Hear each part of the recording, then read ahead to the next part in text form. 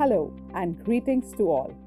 On the onset, I would like to thank each one of you for rising to the occasion over the past two years and embracing technology and newer ways of teaching and learning.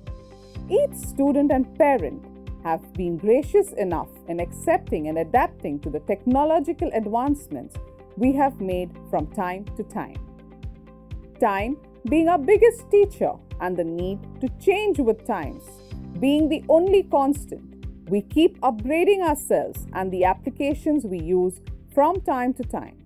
Today, I would like to recap and also roll out a few new functionalities in our Quest ERP and Quest Plus learning app. Moving on to the Quest ERP. The Quest ERP helps in communication between the school, the students, the parents, and the teacher. It helps in the daily functioning like your attendance, your marks, your fee payment, etc. Now, to go to the ERP, you can go to your respective school website, for example, singhaniaschool.org, and you see the Quest ERP logo. Click on this logo and it takes you to the ERP website. Now that you have landed on the ERP website, you can see three sets of logins. You could have a student, parent, or a teacher or staff login. So select whichever login you would be, either a student or a parent. And for ease of operation for students and teachers, we have made all their login IDs as the school G Suite ID.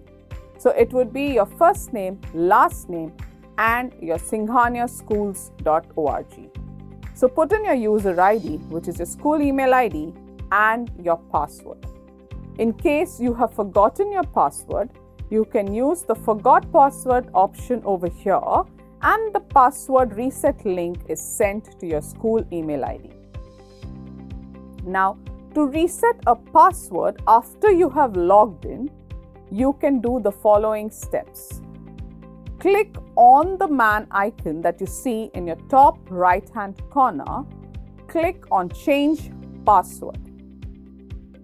Once you have clicked on the Change Password option, you will see three text fields your current password and two fields for your new password. So, key in your current password. That's a password you use to log in. You can set a new password. Just a word of caution your new password should be same as your confirmed password. This is just a step to check that the password you're keying in again is the same as the password you have put in for your new password. Click on save and your password is saved. Now, how to check and submit homework and assignments. Every teacher would be uploading homework or assignments on your Quest ERP from time to time. This is very similar to what we would have done on a Google Classroom. The only difference being over here is we do not have separate classrooms. You see all the homework or assignments that has been assigned to you in a tabular form and with it comes the subject. So you know that each subject has been assigned a particular assignment or a subject has been assigned multiple assignments over a period of time. Now, when a teacher uploads your assignment, you would have a date of uploading, a submission date, which is your due date, and a date of evaluation. Now, if you click on these three lines in your right hand, you will see a pop up window which gives you more details on your homework. So, it would be instructions from the teacher with again your upload date, your submission date, or your due date, and the date that it was evaluated. Now, a status over here shows that it is incomplete because this has been assigned by the teacher recently and needs to be worked on. If you see the download button over here, you can click on it and download the worksheet or the assignment that has been uploaded by the teacher so that you can then work on it and submit it back to the teacher. So download the worksheet or the assignment by clicking on the download button here. And once you are done with the assignment or the homework that has been assigned to you, you can click on the upload option. There's an arrow which is facing upwards. You can click on the upload option and there is a message box that pops up over here. Now you can write a message to your teacher. It could be anything, a query or something that you would like to bring to her notice. You can drag your file and the file I would like all of you to put it in a PDF format so that it doesn't change or it cannot be changed once uploaded. So just drag your file into this box over here or you can just click over here, select the location that the file has been saved at and click on upload.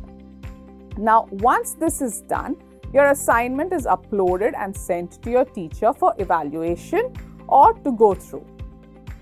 Now how to use the download center. Now a download center will have your assignments, your study material. This could be something which is over and above your textbooks. It could be a presentation, it could be a video, a link to something. So your study material, your syllabus for the year, and other downloads like it could be your picnic consent forms. It could be something like a you know a health form which needs to be filled by you and brought back to your class teacher so all of this could be found in these other downloads. It's so basically general information, general forms that you need to fill or general applications that you would have to do from a time to time basis. You all find it in your downloads center. You can click on the download arrow that you see on the right hand side to download any of the material that you would like to download from either assignments, study material, syllabus or other downloads how to view your exam result. This can be viewed by both parents and students. Now, to view your exam result, click on the examinations link on your left hand side menu. Below that, you will see an exam result. Once you click on that, your page will have a link which says click here to view the mark sheet. Since we are in the process of rolling out your term 1 exams, this is where you need to go to download your report cards. So, parents and students both can do this. This is how you will have your mark sheet that you have downloaded or your report card, and you can view it, you can download it and keep it in your desktops or laptops. And this is how you will view your mark sheet. You can download it so that you can keep it for your future reference as well. How to view your attendance. The attendance can be viewed by students and parents alike. To view your attendance, click on the attendance link on the left hand menu bar and you can view your attendance for the month. There is a key at the bottom to help you read your attendance. Like if you were absent, that day would be marked in red. If you're present, like you can see, this has all the days that were working as green, it will be marked in green. If you were late to school, it would be marked in yellow. If you've taken a half day for either medical reasons or any other reason, it would be marked in orange. And holidays in the month are marked as gray. So if you see this particular student that we have extracted the attendance for has just a green and a gray, which means he was present for all the working days in the month. How to view a timetable. Now, this timetable is collated keeping in mind your class timetable. So, the exact timetable is reflected on the ERP. This will help you plan better for your day and it is viewable by students and parents alike. How to pay your school fees. This is available only in the parent login. And this is something parents have been coming to us as a query multiple times. So it's a recap that I will be doing now. To pay your fees, click on the fee option in the left hand menu and you will see your student details. Once you do that, you can click on the fee tab and you are taken to all the fees that are applicable for the current year or any previous year balances. Please note you cannot pay a fee unless you have cleared the previous dues. For example, you cannot pay a term 2 term fee unless the tuition fees for the previous two quarters are paid. So, you can now select whichever fee you would like to pay. For example, your quarter 2 and quarter 3 and then you can collect the selected fees. Click on that option. You get a window which pops up which gives you an option to pay the fee. Click on pay. Select your mode of payment. It could be either card, net banking, or UPI.